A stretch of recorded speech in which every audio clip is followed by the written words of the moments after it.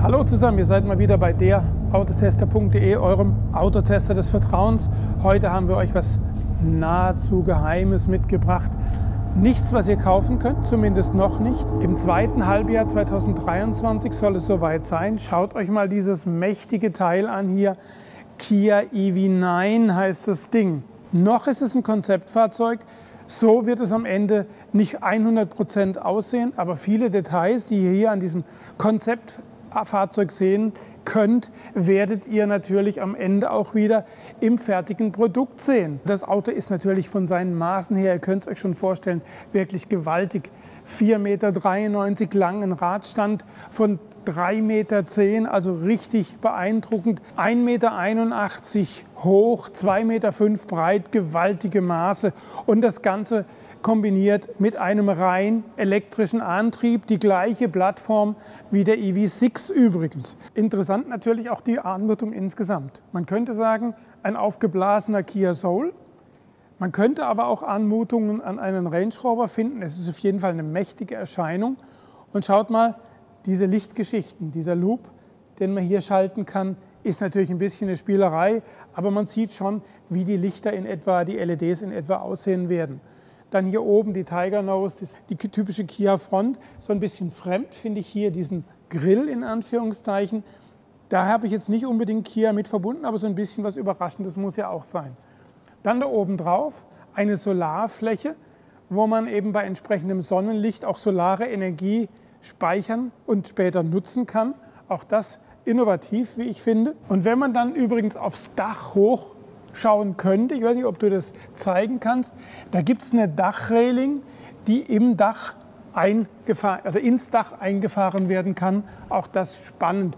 Und in der Mitte, wir zeigen euch das auch mal, wie es von unten aussieht, dann ein riesiges Panoramadach, ein riesiges Dach, das in Abhängigkeit von der Sonneneinstrahlung verdunkelt oder eben dann heller gemacht werden kann. Gewaltige Rathäuser, übrigens so ein bisschen eine kantige Einfassung, hochglanzschwarz hier, 22 Zöller, also richtig mächtige äh, Räder und dann eben hier unten auch wieder kraftvolles Design mit den Hochglanzelementen unten, aber alles massiv und kräftig erscheint. Und hier, schaut mal, keine klassischen Spiegel, sondern ein Kamerasystem, das zeigt, was hinterm Auto ist. Und jetzt wollen wir euch natürlich auch mal ins Auto gucken lassen. Schaut mal. Haben wir das nicht schön gemacht? Sesam, öffne dich. Und da seht ihr hier drin jetzt natürlich hier, wie viel Raum hier angeboten wird. Aber eine Illusion muss ich euch leider nehmen. Es wird dieses Auto vermutlich nicht ohne B-Säule geben, sondern wir werden hier in der Mitte vermutlich eine Säule haben. Anders ist das konstruktiv kaum zu machen. Übrigens, ich darf das Auto nicht berühren. Das ist wirklich ein Konzeptcar, das vor allem für Showzwecke da ist. Schaut man aber in diesen Innenraum. Da könnt ihr jetzt mal, wenn du mal mit der Kamera näher kommst, auch mal nach oben gucken. Dieses riesige Panoramadach.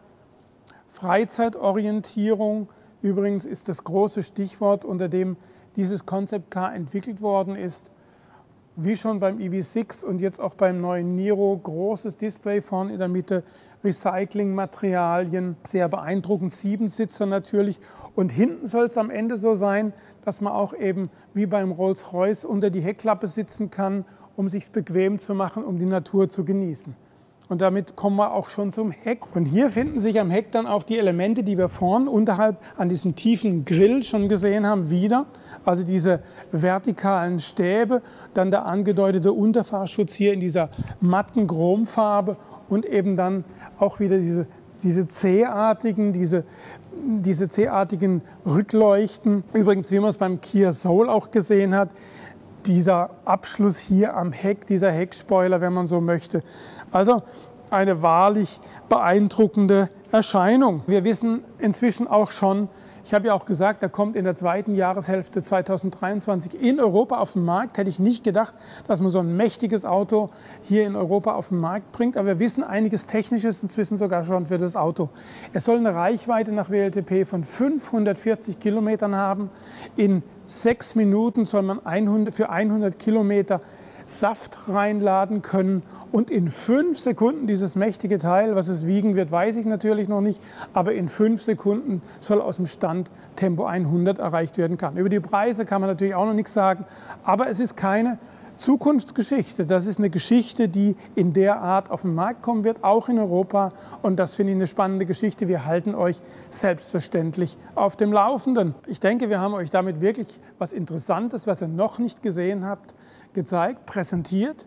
Ein Auto, das zwar ein Konzept ist, aber eben so oder in der Art auch erscheinen wird. Und das ist immer wieder, wie ich finde, spannend. Kia scheint mutig zu sein, so ein Auto auf den Markt zu bringen in der Größe. Ich bin mal auf den Preis gespannt. Ich bin gespannt, wie sich fährt. Das wird man alles sehen. Wie gesagt, ich rechne damit, Anfang, Mitte kommenden Jahres werden wir dieses Auto in der finalen Form dann sehen. Und es wird ja in der zweiten Jahreshälfte auf den Markt kommen. Ansonsten, ich wünsche euch wie immer alles Gute. Passt auf euch auf, bleibt gesund. Euer Friedbert und nicht vergessen, hinterlasst euer Like, abonniert den Kanal, dann werdet ihr immer rechtzeitig informiert, wenn es was Neues auf dem Automarkt gibt.